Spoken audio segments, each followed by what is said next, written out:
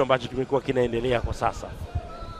Haya, Nyaishida Yohana ameweka cross ndani katika nafasi. Oh, Madata Jefta Daudi. Yes,